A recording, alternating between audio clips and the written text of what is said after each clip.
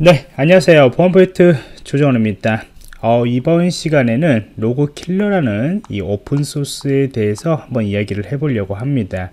어, 이 도구는 이제 어떤 거냐면 윈도우하고 이제 서버 그 리눅스 이 서버에서 발생하는 그런 로고들을 지워주는 그런 도구입니다. 이거를 이제 어디서 보통 많이 사용하냐? 저희들이 이제 침해 사고를 이제 모이킹이나 아니면은 실제 이제 침해 사고 그런 시나리오를 할때 이제 공격자가 시스템에 이제 들어오게 되는 거죠. 그리고 이제 시스템에 들어오고 난 뒤에 어, 필요한 정보들을 모두 다 탈출을 하고 그리고 난 뒤에 다양한 이제 로고들을 하나씩 지우면서 이제 나가게 되는 겁니다. 근데 그거를 이제 하나씩 하나씩 찾아가지고 지우면은 어 이제 빠지는 부분들도 있고 여러 가지 어 자기 흔적들을 남길 수 있기 때문에 바로 이렇게 로그 킬러라는 이런 배치 파일이나 그런 것들을 이용해 가지고 이렇게 로고들을 지우고 나가는 예 그러한 도구라고 보시면 될 것 같고요. 또 뭐 관리자 입장에서 또 이것들을 쓸 경우들은 많이 없겠지만은 혹시나 이제 로고 정보들을 어, 이렇게 초기화시키거나 그러고 싶을 때 이렇게 사용하면 될 것 같습니다. 어, 많이 쓸지는 모르겠습니다. 그런 반면으로는요. 아무튼 요거는 어떻게 사용하는지 한번 보도록 하겠습니다. 사용하는 방법은 그냥 윈도우즈에서는 배치 파일을 실행하시면 되고요. 리눅스에서는 요 php 파일이라는 요거를 어, 실행시키시면 됩니다. 자 그러면 윈도우즈 환경만 우선 좀 살펴보도록 할게요. 어, 사실 이제 우선은 살펴보기 전에 이 칼리 리눅스에 있는 이 메타스플로이트 어, 이 메타스플로이트 내에서도 로그 파일을 지우는 그런 기능들이 있어요. 그래서 어, 제가 미리 이제 악성 코드를 감염을 시켜 가지고 이렇게 연결을 해 놨습니다. 이렇게 세션이 연결이 되어 있고요. 이 메타스플로이트 내의 메타프리터의 이 도움말들을 한번 보시면은 아래쪽에 이렇게 쭉 내려보시면 기본적으로 제공하고 있는 그런 명령어들이 있는데 그 중에서 이제 클리너 EV라는 요 이벤트 로고 요것이 있어요. 요것이 있는데 요거 같은 경우에도 이제 잘 지워집니다. 저희들이 권한만 만약 존재를 한다 근데 이제 요거가 이제 문제가 이제 있냐 어떤 것이 있냐면은 요 안에는 이제 메타 메타프리터에서 이제 정해진 그 범위 내에서만 지워지게 돼요 그래서 최근에 많이 모으고 있는 그런 시스로그 파일이나 그런 것들은 여기에서 지워지진 않습니다. 물론 여기에서 어, 쉘로 직접 들어가 가지고 뒤에서 이 배치 파일 아까 그킬 러 하는 킬러 로그하는 그 배치 파일에서 사용하고 있는 wmic라는 명령어를 이용하면은 또 지울 수가 있습니다. 그런데 이제 요 로그, 요 배치 파일을 이용해 가지고 직접적으로 한번 삭제하는 것을 한번 보도록 할게요. 우선은 제가 이거를 어 이렇게 어 다운로드를 받았고요. 물론 여러분들이 직접 침투를 하고 난 뒤에 실제 범죄자들은 침투를 하고 난 뒤에 여기 메타프리터를 통해 가지고 이제 킬러 로그라는 저 배치 파일을 이제 여기다가 업로드를, 업로드를 시키겠죠. 그 다음에 거기서 실행시키는데 저희들이 소스 코드까지 보기 위해서 좀 여기다가 어, 옮겨놨습니다. 요거를 다운로드 받으신 다음에 요 안에 보시면은 어, 이렇게 있어요. 요 안에 있고 그 다음에 요것들이 이제 배치 파일입니다. 지금 현재 이제 잘 어, 확정 파일 확정 파일이 좀 안 보이게 되어 있는데 음, 자, 확장 파일을 보면은 이제 배치 파일로 되어 있죠. 자, 그러면은 요거하고 요거하고 두 개 되어 있습니다. 윈도우즈 같은 경우는요. 그래서 로그킬러.점 배치 파일을 한번 노트패드 플러스 플러스로 한번 열어보시면은 이런 식으로 되어 있습니다. 음, 그러면 이제 여기에서 요 명령어들, 요 명령어를 보시면은 굉장히 간단해요. 지금 이제 로그킬러 정의, 정의를 해주고요.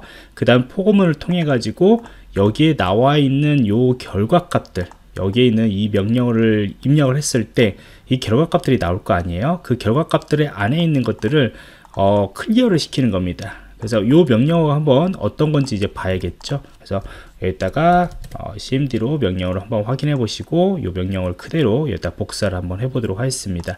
그래서 어, 요 명령어 같은 경우에는 저희들이 윈도우즈 어떤 이벤트나 그런 것들을 유틸할 수 있는 것들인데 윈도우즈에 기본적으로 여러분들이 설치가 되어 있어요. 그래서 여러분들이 사용하고 있는 그, 그 개인 PC에도 요 명령어들이 있습니다.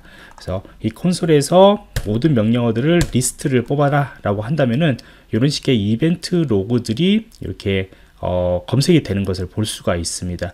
어, 여러분들이 만약 개인 PC든 서버를 사용하냐면은 사용을 하게 되면은 요 많은 곳에 지금 현재 이벤트들이 발생을 하고 있다라는 거예요. 그 서비스에 따라서 아니면 어떤 명령어에 따라서 그 다음에 시스문을 여러분들이 시스문 서비스를 동작을 시키고 있다면 저와 같이 이렇게 윈도우즈 시스문의 오퍼레이션이라는 요것들도 이제 여기 안에도 로고들이 쌓이게 되는 것이고요 그 다음에 윈도우즈에 많이 사용하고 있는 그런 파워쉘 같은 거를 사용하고 있다 라고 한다면은 그 파워쉘과 간, 그 관련된 그런 로고들도 여기에 쌓이게 되는 겁니다 굉장히 많은 로고들이 이제 쌓이게 되는 거죠. 파워쉘 로고들은 여기에 이제 쌓이게 되는 거죠. 그래서 이것들을 만약 클리어를 한다면은 여기 안에 여기 안에 있는 여기 안에 있는 로고들이 이제 하나씩 어, 삭제가 되는 겁니다. 그것이 처음부터 끝까지 있는 거에 대해서 모두 다 어, 삭제를 한다는 소리고요. 이 로그 킬러 로프 같은 경우에도 한번 여러분들 보시면은 요거는 어, 그 시간에 따라서 어느 정도 시간에 따라서 요것들을 계속 어, 반복을 하게 되는 것이죠. 예, 그래서 루프를 둔다라고 해가지고 실제적으로 요거를 돌리면 어떤 로고들이 발생을 시키고 지우고 발생을 시키고 지우고 뭐 그렇게 될 겁니다. 그래서 이런 것들을 이제 타임이나 이런 것들로 만들면은 어, 특정한 시간 동안에 로고를 모으고 그 다음에 특정한 그 중앙 서버 쪽에다 로고를 보내고 난 뒤에 실제 서버에다가는 로고를 지워 가지고 다시 또 시간별로 만약 여러분들이 로고를 좀 저장을 하고 싶다 라고 한다면은 어, 이러한 배치 파일을 좀 사용하는 것도 괜찮을 것 같습니다. 그래서 앞에서 관리자가 어떻게 사용하냐 라고 했을 때는 그런 식으로 이제 한정된 자원에서 로고를 모으고 싶을 때 사용해도 될 것 같습니다 어 그러면 이제 한번 실행을 한번 해봐야겠죠 물론 이제 요거를 관리자가 직접 실행하지는 않겠지만은 어, 여러분들이 그 범죄자가 이렇게 침투를 하고 난 뒤에 권한이 있으면은 요 배치 파일을 실행하면은 이 로그 파일들 접근할 수 있는 로그 파일들을 다 삭제를 하게 될 겁니다. 한번 어, 실행을 시켜 보도록 할게요. 오른쪽 눌러 가지고 관리자 권한으로 실행을 할게요. 왜냐면 서비스 로그나 그런데 접근하는 것이 관리자거나 이상의 SS가 필요하기 때문입니다. 그래서 이렇게 실행을 시키면은 어 이제 좀 기다렸다가 이제 시작이 되죠. 그러면은 쭉 해서 이제 클리어가 되기 시작합니다. 어 이건 뭐 보는 거면 이제 모든 로고들 다 확인하고 난 뒤에 그 안에 이제 로고들이 있으면은 지워지는 거죠. 그래서 이벤트 로고, 제가 이벤트 로고에다가 어 생각보다 많은 로고들을 지금 현재 쌓아 놨었거든요. 쌓아 놨었는데 윈도우즈 로고 같은 거나 어플리케이션이나 그런 데 보더라도 지금 로고들이 이제 막 요거는 이벤트 로고 막 생기는 거기 때문에 그런 것이고요. 시스템이나 그런 데 보면은 이제까지 쌓았던 로고들이 어, 없어진 것을 볼 수가 있어요. 그리고 제가 교육 때문에 이 시스몬 로그라는 것을 한번 쌓아 놨었는데 한번 볼게요. 오퍼레이션 쪽에 보더라도 지금 어느 정도 많이 삭제된 것을 볼 수가 있습니다. 아까 어, 많이 제가 쌓아 놨었거든요. 자 그래서 어, 이런 식으로 이제 로고들이 로고들이 삭제가 되는 이런 도구인 것이고요. 어, 여러분들이 이런 배치 파일이나 그런 것들 많이 오픈 소스 오픈 소스 도구를 좀 많이 이렇게 보는 이유는 나중에 혹시나 어, 그 실무에서 어떤 것들 로고들이 어디에 저장되어 있는가 그런 것들 볼 때도 이제 도움이 되기 때문에 많이 분석을 해보시면 좋아요.